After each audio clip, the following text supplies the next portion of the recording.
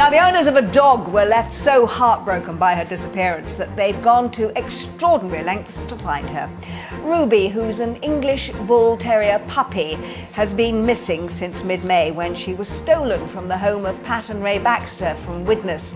The doggedly determined owners have set up a website, they've created a Facebook campaign, and even made a Find Ruby appeal video.